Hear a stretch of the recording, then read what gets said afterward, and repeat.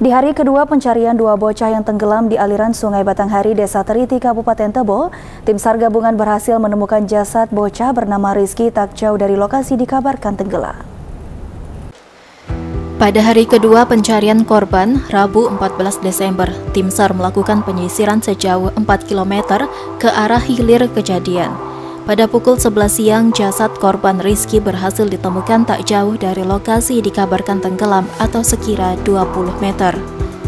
Jasad korban langsung dievakuasi ke rumah duka untuk segera disemayamkan. Korban telah ditemukan oleh tim SAR gabungan atas nama Rizky uh, tidak jauh dari lokasi kurang lebih 20 meter dari uh, tempat dia tenggelam. Lalu korban uh, diserahkan ke rumah duka. Untuk tim SAR gabungan melanjutkan pencarian korban atas nama Gaddafi. Saat ini tim SAR masih menyisir lokasi untuk proses pencarian korban Gaddafi. Dimas Sanjaya, Jack TV melaporkan.